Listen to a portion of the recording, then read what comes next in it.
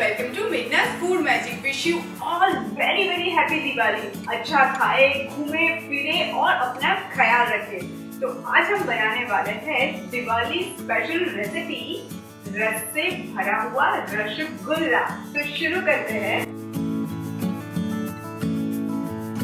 सो so, यहाँ पे मेरे पास फुल फैट दूध लिया हुआ है एक लीटर है बेसिकली रसगुल्ला बनाने के लिए हमें दूध को फाड़ना होता है। दूध बहुत अच्छे से गर्म हो रहा है। जैसे कि मैंने बोला कि इसको उबालना नहीं है, बस यही टाइम पे मैं थोड़ा थोड़ा करके इसके अंदर ये नींबू का रस डालती हूँ। थोड़ा सा डालेंगे और इसको चलाते जाएँगे। ये दूध बहुत अच्छे से फट गया है। आप देख सकते हैं कि ये पूरा पानी अलग हो गया है एंड ये पूरा कडल भी हो चुका है। तो इसको मैं निकाल लेती हूँ एक किचन टॉवल में, जिसके नीचे मैंने एक छन्नी रखी हुई है और एक बोल रखा हुआ है। इसको हम ड्रेन कर लेते हैं।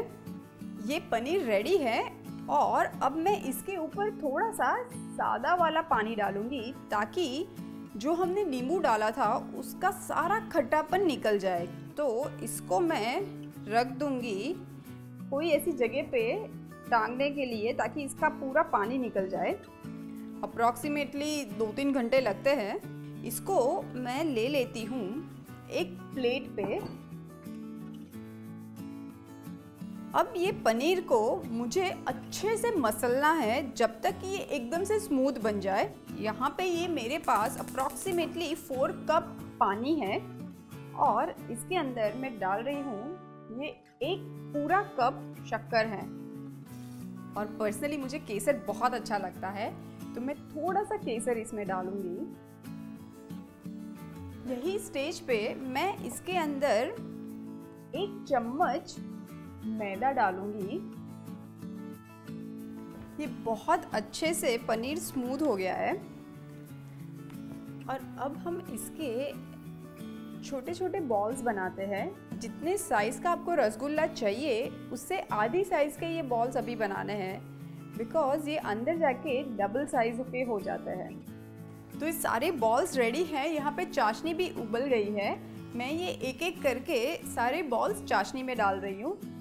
जस्ट मेक श्योर कि चाशनी आपकी एकदम से बॉइलिंग हो। और इसको मुझे ढक के हाई फ्लेम पे पाँच मिनट पकाना है। और उसके बाद हम फ्लेम को कम कर देंगे, मीडियम हाई कर देंगे और 15 से 20 मिनट उसको पकने देंगे। रसगुल्ला बन के बिल्कुल रेडी है। चलिए हम निकालते हैं इसको। बोल में मैं ले लेती हूँ।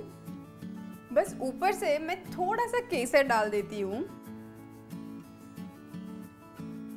तो लीजिए तैयार है आपकी दिवाली को और भी मीठा करने के लिए रस से भरे हुए रसगुल्ले।